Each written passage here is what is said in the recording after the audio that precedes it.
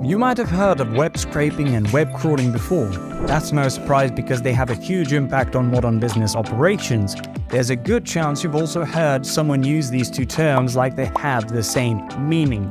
While they share many similarities, some key differences set them apart. Hi, I'm Raddy. In this video, we'll cover the definitions of web scraping and web crawling. We'll also cover how they work, what they're used for, and everything else you need to know. Let's start with the definitions. Web crawling is the process of reading and storing content from websites. It's usually performed by bots known as crawlers or spiders, hence its name. This data is mostly used for indexing purposes. Search engines use web crawling to gather information from websites and index it. That way, when you type in a term on Google, it can show you the information you're looking for. On the other hand, web scraping refers to extracting data from a website. This is usually done with scraping bots, automated tools that speed up the process tremendously. However, it can also be done manually. You're scraping this video for information right now, the key difference may not be obvious, so let's try to simplify it a bit further. Web crawling is done when you don't really know what you're looking for. It's used to gather URLs from a site or a specific section of it. Essentially, a crawler is looking for targets to scrape data from.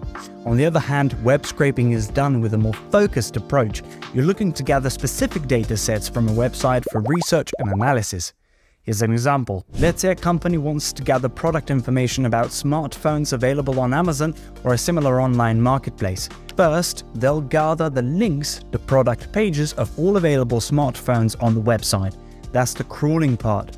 Then they'll use these URLs to start gathering specific information for each smartphone, price, specifications, operating systems, warranty, package contents, user reviews, and more. That's the scraping part. Finally, the company can analyze this data to figure out how to position its own smartphone in the market. Gathering online data has become the ultimate business tool in recent years with an entire industry around it. It helps companies make more informed decisions, improve customer experience and loyalty, protect their brand and more. Here are the key ways modern companies use web crawling and web scraping. Countless companies keep an eye on their competition with web scraping.